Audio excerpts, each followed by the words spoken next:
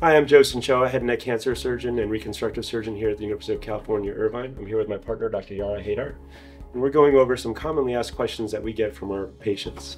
Dr. Haidar, a question I often get asked is, what does it mean that my throat cancer is HPV positive? That's a good question. I get that question all the time as well.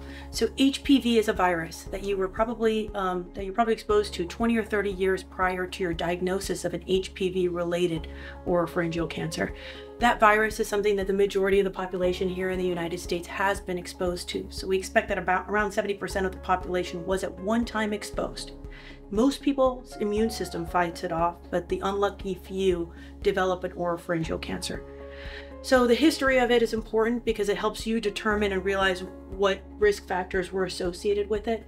Certain risk factors are more likely to be associated with HPV or oropharyngeal cancer, such as increased sexual activity or earlier exposure, exposure to sexual activity, in addition to smoking and alcohol use.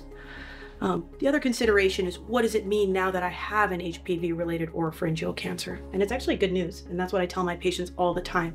HPV related oropharyngeal cancers have a very good prognosis with a high cure rate. Um, so it's a very treatable illness. There are multiple different ways that we treat HPV related oropharyngeal cancers. Here we have access to the newest robotic equipment and we're capable of performing transoral robotic oropharyngeal surgery. Both Dr. Tjoa and I are trained in transoral robotic surgery and have access to the SP Da Vinci robot, which is the newest equipment FDA approved for head and neck cancer treatment. So that makes me think of another common question we get asked is if it's a sexually transmitted disease and I have a cancer because of it, am I contagious? Can I give that to my partner? Once again, I get asked that question all the time as well.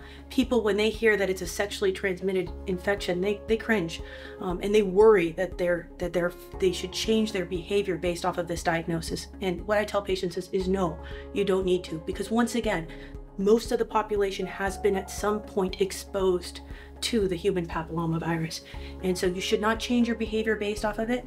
Um, but um, just get your HPV related oropharyngeal cancer treated. Thank you, Dr. Haidar, for providing that information. If you have a new diagnosis of an HPV related throat cancer, please feel free to call our clinic.